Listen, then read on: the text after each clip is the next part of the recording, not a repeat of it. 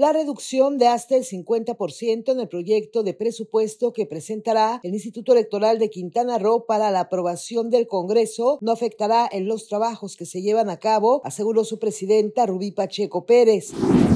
Ninguna. Hay que recordar que el presupuesto creció tanto en, para 2024 porque fue año electoral y tuvimos la elección de diputaciones y la de ayuntamientos. Entonces ahí se mueven cantidades este, bastante fuertes. Por, por ejemplo, contratamos a más de mil este, funcionarios para trabajar durante este proceso. También adquirimos material electoral, documentación electoral y todas esas son cantidades que le suman al presupuesto. Por eso llegó a un tope de 538 millones aproximadamente.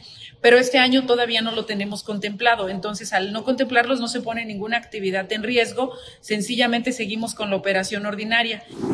Según dijo, para el 2025 su presupuesto sería de 224 millones de pesos, de los que 67 millones son para las prerrogativas de los partidos políticos. Sostuvo que su presupuesto es con base en la austeridad y disciplina financiera. Para Notivisión, Marta Torrero Ortega.